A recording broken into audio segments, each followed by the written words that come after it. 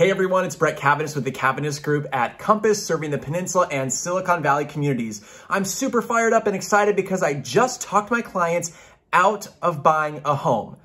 Yes, I know normally that's really not what my job is supposed to be as a realtor. I sell homes, uh, but in this case, I'm super excited that I just got my clients uh, out, talk them out of uh, purchasing a property that would have gotten them into a lot of hot water in terms of expenses incurred in the near future. How did that happen? Well, uh, one of the things I want to talk to you today about is pre-inspections and doing your due diligence before making an offer. In Silicon Valley, we're lucky enough that normally inspections and reports are all provided to us in advance, but sometimes there's not a complete set of information, and this is one of those perfect examples. I took my clients out to see a property, a beautiful, completely renovated home on the hillside in Belmont, and it looked spectacular. My clients loved it. It had the updated kitchen, the updated bathrooms. It was light and bright and stainless steel appliances and fantastic. But I told my clients, wait, it looks nice, it looks great, and maybe it certainly is, but what we need to do next is I need to go back, pull disclosures, get them over to you. I'm going to take a look at them and I want to see what's underneath the hood is what I call it. Because I find this happens a lot of times. They make things look really nice and pretty so that you come in and get super excited, but they didn't take care of some of the major issues. And especially when we're talking about a hillside property, we want to be sure that it's stable and the foundation is strong and there's no big issues there. So lo and behold, we got back, we took a look at disclosures and the home inspector noted some possible issues with the foundation.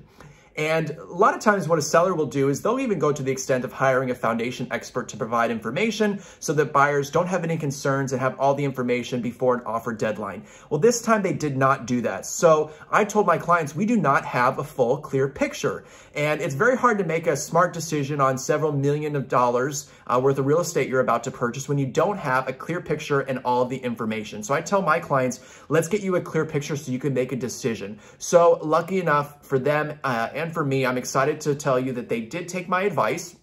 And I was able to contact foundation expert, even though the offer deadline was coming up just in a few days, I had a foundation expert come out to the property and actually meet live with myself and my clients there to go through the home. In just about 30 to 45 minutes, he completed a complete inspection and was able to walk them through all of the facets of the home. And what did we find out? Well, we found out the foundation looks great. It's actually in much better condition than many properties, specifically hillside properties in Belmont. So that was fantastic, but there was a big but.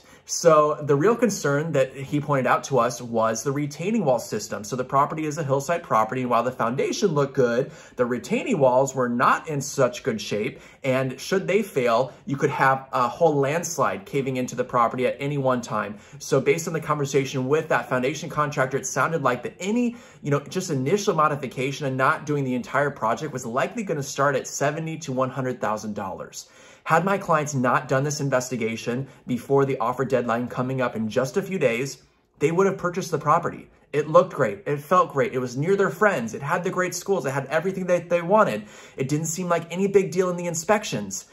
But they would have moved in and found out very, very quickly that they needed to spend another $100,000 uh, right off the bat. But instead, they spent about $800 to hire a professional foundation contractor to come through and that is cheap insurance. So I am over the moon that my clients spent $800 to save them over $100,000 so that we can move on to a property that's gonna be safe uh, for the long term for their family and a smart investment. So uh, please be careful when you're looking at properties. Uh, don't just judge a book by the cover, what it looks like on the outside walls. Let's dig in. Let's find out what's underneath there. If you ever have questions or need assistance, I would love to consult with you as your realtor here in Silicon Valley or the Peninsula.